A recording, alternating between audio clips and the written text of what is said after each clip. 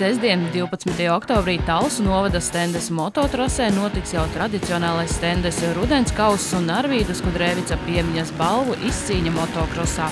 Stendes motoklubs šajās sacensībās aicina piedalīties visus, iesācējus ieskaitot, jo arī viņiem būs nodrošinātas klases gan amatieriem iesācējiem, gan absolūtiem iesācējiem. Tā ir lieliski iespēja iegūt pieredzi šajā sporta veidā. Pavisam tiks sadalīti 13 balvu komplekti, un svarīgākais – katram klases līderim tiks Arvīdas Kudrēvica radinieku gādātās piemiņas balvas.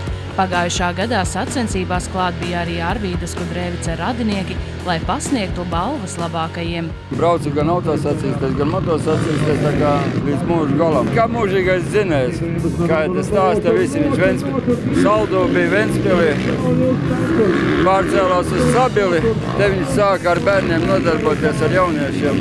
90. gados, man liekas, 93. gadā mēs ar uh, viņu vecāko meitu izstādījām jau balvu toreiz gan jauniešiem, kā viņa speciāla balvu.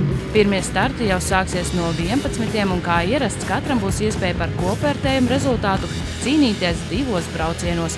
Arī līdzjutēji laipni aicināti, jo sacensības stendes mototrasē vienmēr ir aizraujošas.